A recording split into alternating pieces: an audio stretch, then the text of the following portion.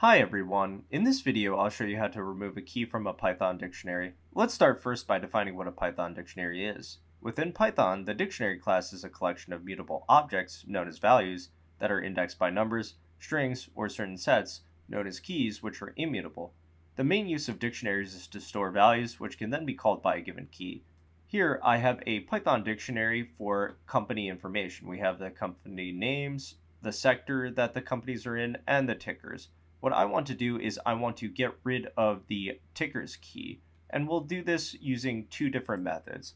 The first method is we're going to call the data dictionary itself, then we are going to call the pop function, and this is similar to the pop function that's built into lists where it gets into gets rid of an element, but in this case we're getting rid of a key.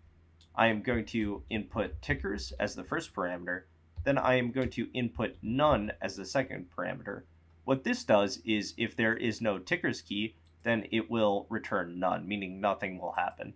Let's run this. And we can see that we have the values returned here. If I print out the data dictionary, we'll see that we got rid of the tickers key. And we can try running this again. This time, nothing pops up because we already got rid of the tickers key. Let's go on to the second method. I'm going to rerun the cell so we now have the tickers again and we are going to get rid of the key using the del function, and del standing for delete. So if we type in del, we can see that it is going to delete something. What I want to do is I want to put a try and except. We are going to try to delete the key if it's there, similar to what we did here with tickers and none.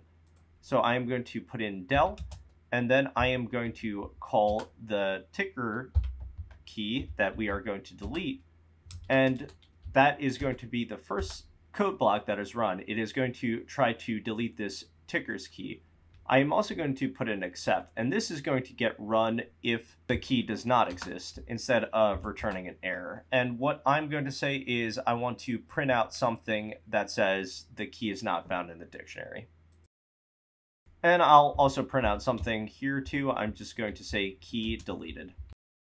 And if we run this, we'll see that we were able to successfully delete the tickers key, print it out, and we can see that it is gone from our dictionary. If we run this again, we'll see that we have the except code block printed where the key is not found in the dictionary.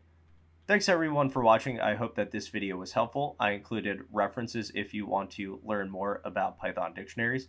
I included a video I made that goes more in-depth into Python dictionaries and different ways to use it and built-in functions. If you like the video, feel free to like and subscribe. You can also connect with me on LinkedIn, Twitter, GitHub, and Odysee. Thanks again everyone for watching and happy coding.